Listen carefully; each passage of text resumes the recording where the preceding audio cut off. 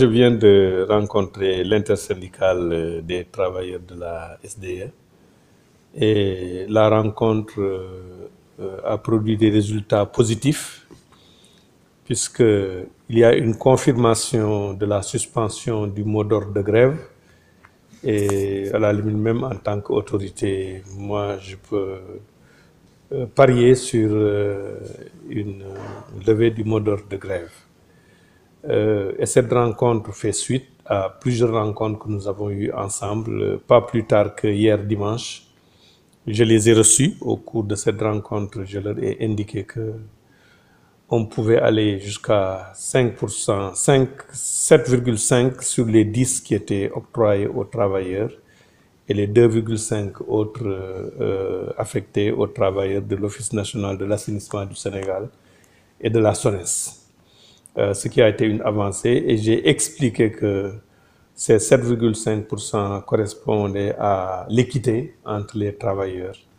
Et c'est ça qui a permis de dénouer la crise. Maintenant, j'ai indiqué aussi que au sein de la part des 10 points réservés aux travailleurs, il y aura un droit de péremption des travailleurs si jamais une entité ne souscrit pas. Euh, en même temps marquer notre disponibilité euh, pour les autres préoccupations qu'ils ont soulevées, qui étaient euh, préoccupations relatives au, à l'accès au logement. Je leur ai indiqué, le président de lui-même, le président Macky Sall, a pris l'initiative de 100 000 logements et il ne cherche que des Sénégalais pour occuper ces logements. Euh, une disponibilité aussi par rapport à la rencontre qu'ils ont sollicitée pour le chef de l'État. Mais pour cette rencontre, je leur ai dit, comme la famille de l'eau et de l'assainissement, c'est une même famille. Euh, si cette rencontre doit avoir lieu, euh, je les ai informés que je demanderai aux syndicats aussi des autres entreprises du secteur, la SONES et puis l'ONAS, de se joindre à cette rencontre pour que le président n'ait pas à rencontrer une partie de la famille pour laisser une autre. Donc cette préoccupation aussi, nous allons la, la porter.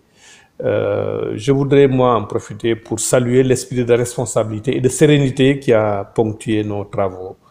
Euh, aussi bien les délégués des travailleurs de la SDE, mais aussi du feedback que j'ai eu de la façon dont les travailleurs se sont comportés, les travailleurs de la SDE pendant leur assemblée générale.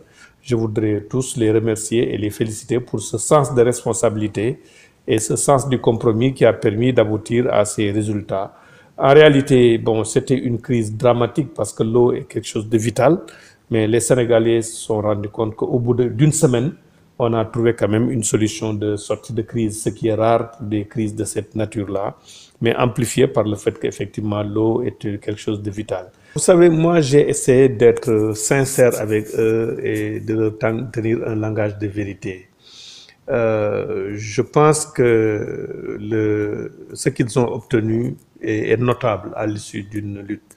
Je leur ai expliqué qu'aujourd'hui, un salarié de la SDE qui avait peut-être 100 000, 200 000 francs de dividendes euh, en tant qu'actionnaire va se retrouver avec 300 000. Donc euh, un dividende multiplié par 1,5, sans compter le fait que eux, ils sont salariés de la nouvelle société qui, qui aura comme partenaire siège et la SDE continue d'exister. À la limite, leurs 5% de la SDE qu'ils avaient dans la SDE, si la SDE continue, ils vont être actionnaires de deux sociétés, 5% au niveau de la SDE et 7,5% au niveau de la nouvelle société, ce qui n'est pas, ce qui n'est pas négligeable.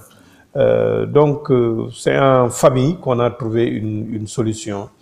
Et je pense qu'on se limitera à cela. Le monde ne s'est pas fait maintenant en un jour. 7,5% pour euh, 2,5% pour les autres. C'est quelque chose d'équilibré qui respecte en plus la proportion des effectifs entre les deux entités.